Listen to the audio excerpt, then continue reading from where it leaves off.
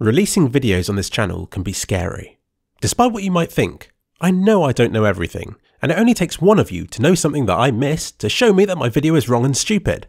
Still, I try to show my workings and to be open about the limitations of my methods and findings. And even if the video doesn't end up being the ultimate definitive guide to something, I hope that it can be used as foundations that can be built upon further by those who wish to do so. Last week I made a video comparing the frame rates from CSGO's beta with those of the game today, I concluded that the game now runs slower, but couldn't determine which of the updates would have caused this. Geri43 over on Reddit pointed out a flaw to my testing.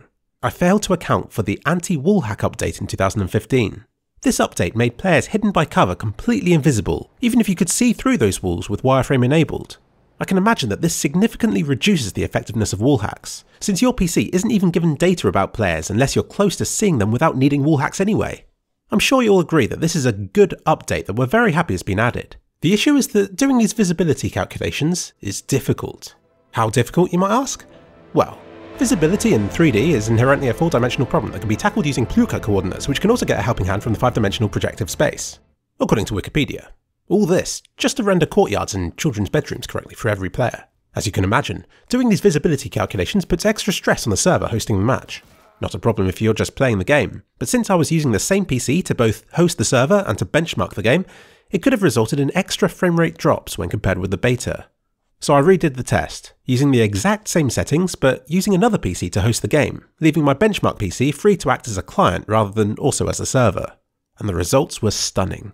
Firstly, GPU limited PCs. This will apply to you if you're running the game on high settings and have a decent processor.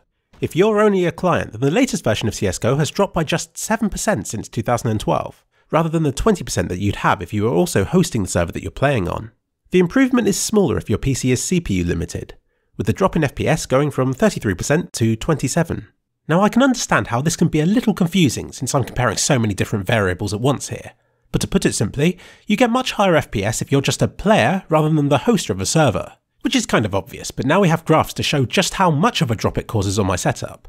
What's more alarming is that playing on a server with 10 bots today is more intensive than it was to be hosting that CSGO server back in 2012.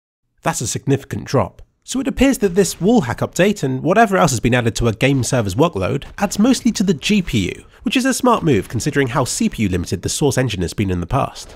If you want the best frame rate possible, you should still use the lowest settings. But your frame rate, and therefore the advantage of using the lower settings, will be about 25% lower than it was back in 2012. So yes, Geri43's suggestion not only massively changed my results, but also answered the question I had in my previous video about which update was causing the drop in FPS. In case you haven't been paying attention, the drop in GPU performance since the game's released is mostly only felt if you're hosting a server, and although we don't know for sure why, the anti-wallhack update is one very possible culprit. Maybe server owners watching this can think of other possible causes for this. I still don't know what's causing the CPU drop, but that hitbox update looks mighty suspicious. So thanks to Geri for pointing out something that I overlooked. Have a click point. But now to question my method of testing. Remember, this is all from just 3 minutes of bot action. It could be that performance varies wildly every run, meaning that none of my findings should be trusted. So I repeated it again, twice, giving me 3 results for every test. And much to my delight, the results were remarkably similar every time, meaning that 3 minutes of bots on arms race is a fairly consistent benchmark to use, in case for whatever reason you can't use any other method to measure your frame rate in CSGO.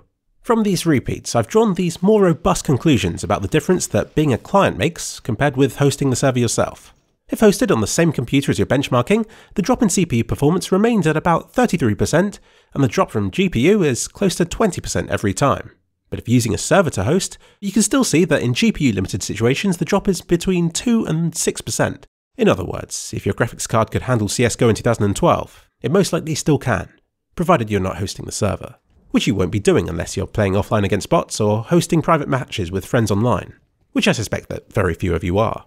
CPU drop varied a bit more between runs, at worst being 27% and at best 21% slower than in 2012. This is the result that you should care about the most, since this will reflect the drop that most of you will have experienced since the beta, provided you game at low settings and therefore most likely care about getting the highest FPS that you can.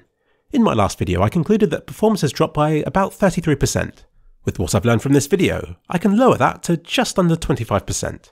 CSGO's updates have still resulted in frame rate drops, but they're not quite as extreme as I previously thought, unless you host servers. So, I apologise that this video had to be made. As I've said, I don't know everything. I have to research every video I make and learn things from them. If you binge watched my videos right now, which I strongly recommend you do, they're awesome, then you'll likely end up knowing more than I do about CSGO right now. I think the important thing is to be honest when I make a mistake and to use it as an opportunity to fix the mistakes and, if anything, to improve on my research further, which I believe that this video has done. Thank you to Geri43 for making this possible. If you spot a mistake in my videos, then please shout about it. But don't be too mean, please. I'm a sensitive soul.